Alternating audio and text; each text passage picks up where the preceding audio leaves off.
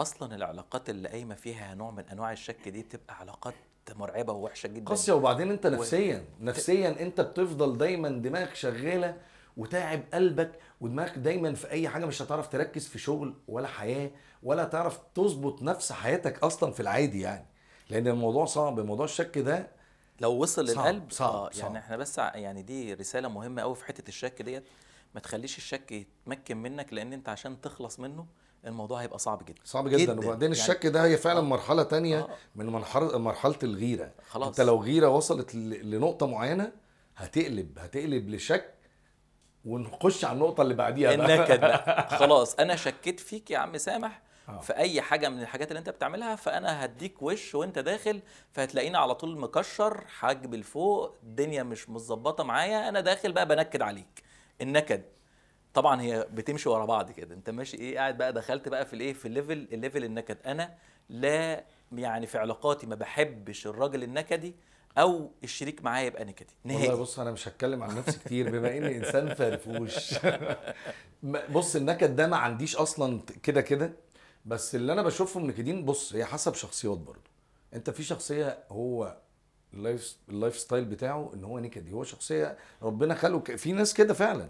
في ناس ما بتعرفش تهزر في ناس ممكن تكون دمها مش خفيف طب ده بس ينفع؟ دي معلش لقطع آه. كلامك بس حلو. لأن النقطة دي مهمة ال- الإنسان النكدي في ناس بطبيعتها غير إن هي نكدية دي مش مرحلة ما بعد ال- الشك وكل المراحل اللي إحنا حكيناها في ناس نكدية علاقات بتبدأ نكدية بطبعها يعني نكدية من أول العلاقة ودي بقى بص كآبة الكآبة بيعيشوا في عذاب السنين لأن بيفضلوا في دوامة هو مش هيتعدل.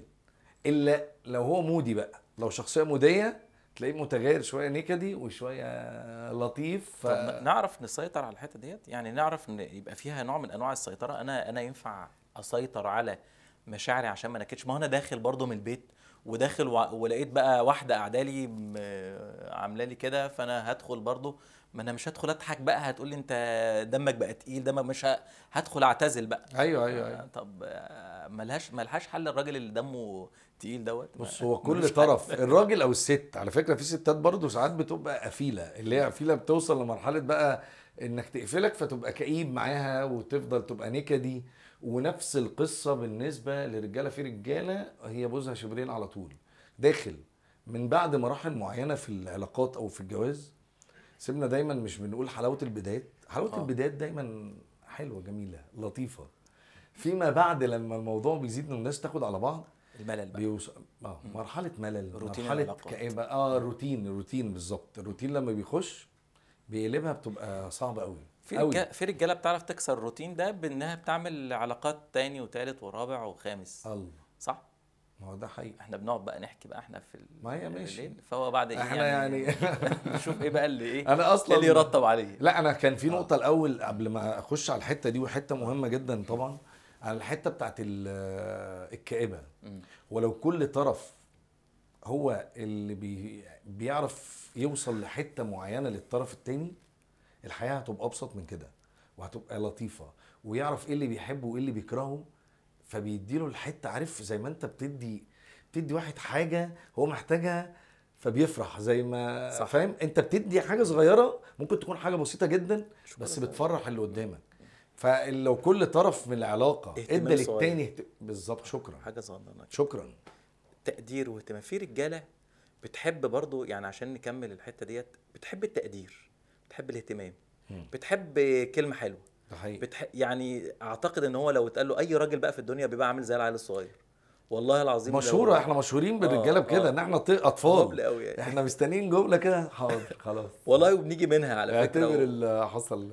بس بس بجد يعني إحنا طب إحنا اللي إحنا بنعمله ده إن إحنا مش مش عايزين يبقى الكلام بتاعنا كلام يروح في الهواء. لا بجد والله إحنا محتاجين إن إن الموضوع فعلا الناس تسمع كويس وتطبق كويس. لأن أنا لو أنا قدرت أخلص من إن أنا أبقى نكدية أو أنا أبقى نكدي ما أنا هحل الإشكالية اللي في البيت. في نقطة برضو أنا يعني عايز أتكلم فيها. الإنسان أنا دلوقتي على علاقة بالشخص اللي معاه أو بشريكتي أو بمراتي مثلا 10 15 20 قعدنا بقى سنين مع بعض. فأكيد كل سنة في غلطة. طبعا. لو عملنا كل سنة غلطة في خلال 20 سنة هيبقى في 20 غلطة. 20 غلطة كبيرة وحواليهم 10 غلطات صغيرين يبقى انت كده طلعت أكتر من حوالي 300 غلطة. انت سجلت ال 300 غلطة دول في اللاوعي بمجرد ان إحنا بنتشاكس مع بعض مشاكسة صغننة كده طبعا الستات بتقوم مطلعة الورقة والقلم وتقوم إيه عدالك كل غلطة انت عملتها. الراجل ما بيحبش كده ما بيحبش الزنق ان انت تزنقيه وتجيبي له بي- يا جماعة بديهي ان الإنسان لازم يغلط. طبعا. أنا هغلط وانت بتغلطي ولازم إحنا يبقى في حاجات إحنا نعمل لها سكيب عشان الحياة نقدر نكمل بيها. استمر تغافل اتغافلوا شوية علشان مش كل شوية هنمسك في بعض واجيب له القديم والجديد هيجيب القديم والجديد مش هيتخانق معاك هتلاقيه بقى وهو. داخل هيسكت مش هي... مش هيكمل الخناقة أصلا عشان إيه؟ ما تجيب هو عارف إيه الخناقة؟ بتبدأ إزاي وبتخلص إزاي وبتنتهي إزاي طبعا. فبيقطع الكلام. أيوه أيوه. صح؟ صح. طيب هنخش على حتة مهمة تانية. يلا بينا. الراجل بعد ما لو اللي هو كثير ال- ال- الخناقات اللي بيتخانق كتير وبيعمل بعد الخناقة عقاب. الراجل اللي بيعاقب بقى يعني اللي هو إيه يعني بياخدوا الآيات مثلا بتاعة القرآن اللي هو يقول لك واضربهن مثلا أو نوع من أنواع آه إن إن هو ياخد. السكة دي أو إن أنت تعمل لها مثلا آه، أنا هنام في أوضة وأنت في أوضة أنا مش هلمسك أنا هروح أبات عند صاحبي. آه، شا- شايف الخلاف ده؟ ممكن يزيد الفجوة ولا ممكن ياخدوا سبيس كده بينهم وبين بعض مساحة لحد ما يتصالحوا؟ والله بص أيهما يعني اللي أنا من أنا من وجهة نظر يعني واللي أنا شفته واللي عشته وشفت نماذج كتيرة جدا حواليا آه، فكرة العقاب ده حاجة بين الزوجين هي بص بتبقى قاسية جدا بس ساعات في أوقات لو بالاتفاق عقاب جماعي بقى. أنا عقاب جماعي. ان فعلا ساعات ال space بيبقى حل من الحلول. بدل ما توصل للطلاق ساعات ب... ب... ما- ما هي مراحل ال space دي اللي هو الانفصال ساعات. في ناس بتنفصل ولو حياتهم بقت أفضل بيقرروا إن هم يتطلقوا. أو يحس إن هو مش عارف يستغنى فيرجع. ده نموذج من نماذج العقاب يعني. بس آه، العقاب ال- إن هو يضرب ومد الإيد أنا ضد تماما تماما حتى لو الست عملت إيه؟ تماما. في ستات لا صليت لسان قوي. يعني ممكن تقف قدام الراجل. وتقول له أنت كل انتش ليها. راجل أنت حتى لو. أنا بقى مع مع كل النماذج وحياتي دايما أقولها لكل الناس صحابي أو اللي بيفكر حتى يزق. الزق ده نوع من أنواع الضرب إن أنت تزق. يعني ممكن أقابل حد يقول لي أنا ما زقتش أنا ما ضربتهاش أنا زقتها بس لأ زقتها في وسط عصبية يعني معناها أكنك مديت خلاص. وهم بياخدوها كده. يعني هم الستات برضو يعني لأ ده ده مد إيده عليا. عمل لك إيه؟ زقني.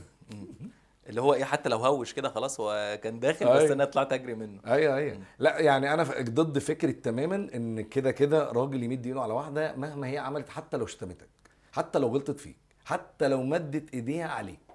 مش معنى ده ان انت ضعيف أو يعني أو أو ما شخصيتك تعبانة يعني. ما هي لا هي القصة مش كده. أنا بالنسبة لي مش كده. حتى لو قلت منه وقلت من رجولته خلاص طلقها. بقى الموضوع يعني أبسط من كده. آه، أنت لو لقيت واحدة بتغلط فيك وبت...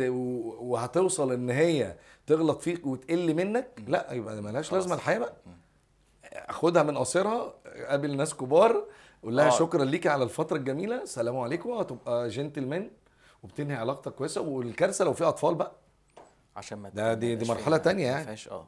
أنا شايف إن ال- الجزئية دي إن الراجل هو راجل ربنا سبحانه وتعالى خلقه راجل بالقوامة بتاعته بقوته بكل حاجة. بس دي لازم آه، يستغلها. والست هي أنثى. بالظبط. فكون إن أنثى بتغلط فيك مش معنى ذلك إن هي ده هي بت بت بتدافع. بتنكشك ما- تاخدهاش إن هي إيه بتقل منك أو بت بتعمل حاجة تانية لأ أيوة، أيوة. أنا عايزك إيه عايزك ما تاخدش الموضوع يعني إيه ممكن إيه في ستات بتحب تقعد وبعد الخناقة تقول لك أنا هو أنا كنت بقول إيه أنا أيوه أيوه أنا إزاي قلت كده أنا ست في الأول وفي الآخر والله ما آه. كانش قصدي أيوة. أنا ما كانش قصدي الحتة دي خالص والله أيوة، على أيوة، فكرة أيوة. في ستات كتير كده. هي نوع من أنواع النكش أو من نوع من أنواع الفضفضة فما تاخدش كل حاجة يعني أثناء الخناقة على أعضائك أو أعصابك. وتاخدها إنها ضرب في رجولتك. وقالت لي وقالت لي وتجيب بقى ناس شهود وتقعد ده خالص. وتقعد